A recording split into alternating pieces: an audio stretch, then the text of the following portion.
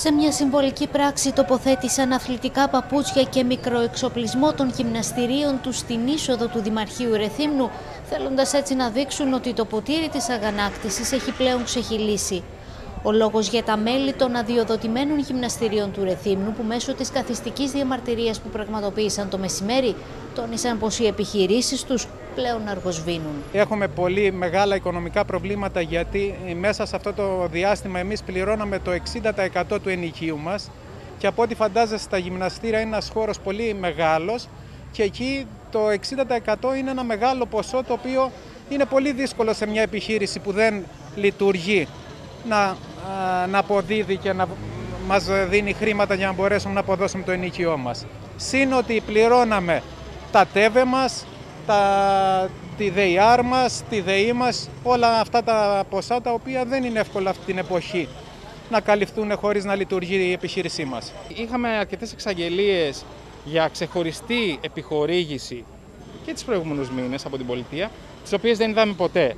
Ε, ακόμα και τώρα που έχουν γίνει καινούργιες εξαγγελίες, οι οποίες δεν έχουν ψηφιστεί ακόμα. Είμαστε πάρα πολύ επιφυλακτικοί. Τα μέλη του κλάδου ζητούν να τους δοθεί ένα σαφές σχέδιο για τον χρόνο και τον τρόπο με τον οποίο θα επαναλειτουργήσουν οι επιχειρήσεις τους και κυρίως οικονομική ενίσχυση από την πολιτεία.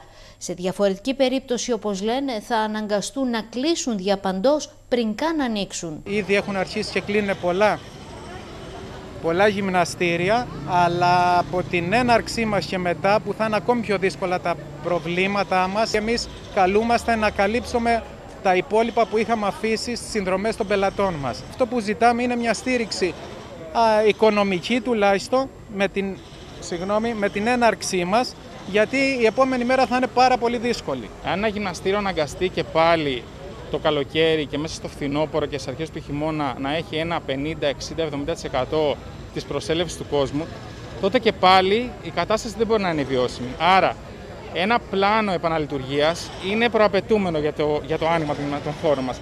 Δεν μπο, είναι, είναι όπως και οι υπόλοιπες επιχειρήσεις, ένα μαγαζί το οποίο έχει έσοδα-έξοδα και πρέπει να γνωρίζει ο διοκτήτης με ποια θα είναι τα έσοδά του και ποια θα είναι τα έξοδά του για να μπορέσει να αποφασίσει να ανοίξει το μαγαζί του. Και στο Ρέθυμνο πάντως τα μέλη των αδειοδοτημένων γυμναστηρίων του νομού υποστηρίζουν πως η στήριξη από τις επιστρεπτές προκαταβολές που έδωσε η κυβέρνηση ήταν η μικρότερη που έλαβαν σε σύγκριση με άλλους επαγγελματικούς κλάδους.